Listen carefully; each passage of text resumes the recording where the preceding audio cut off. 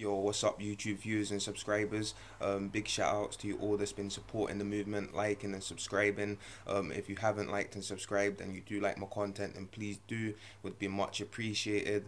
Um, just doing this quick video because I've not long just finished community service.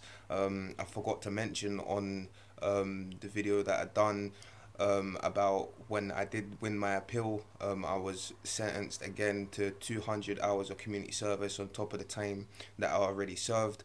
Um, but anything beats, you know, prison. So at the end of the day, um, you know, it's just one of those things. But um, yeah, the main video purpose um, that I'm doing this about today is is um, cellmates. Now, um, it's quite important because um, you're locked up in a cell confined space, like I said before, um, for about 20 hours a day with this one main person. Um, the thing about um, going to prison is, is that you don't know who they're going to put in your cell. You don't know if it's going to be, you know, a drug user. Is it going to be, you know, um, any kind of person that you could sort of think of.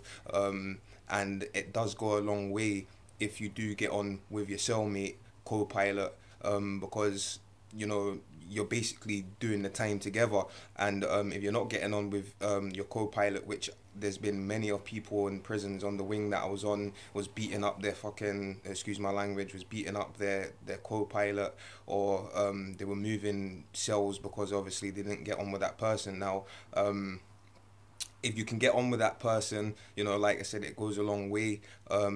Me, thankfully enough, um, I got two uh, cellmates. So um, the first jail, like I said, it was a name boy called Tamur. He was Muslim. Um, I had him for about three, four days until I got my own cell.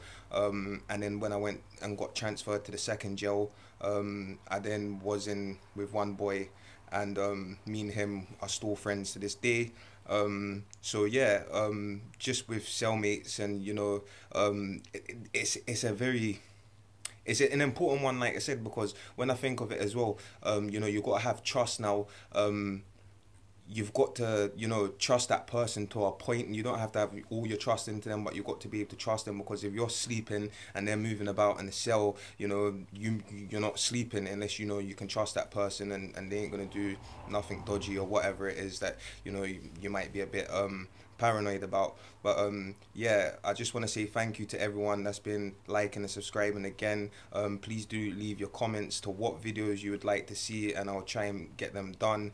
Um, and I've got a couple more comments, so stay locked.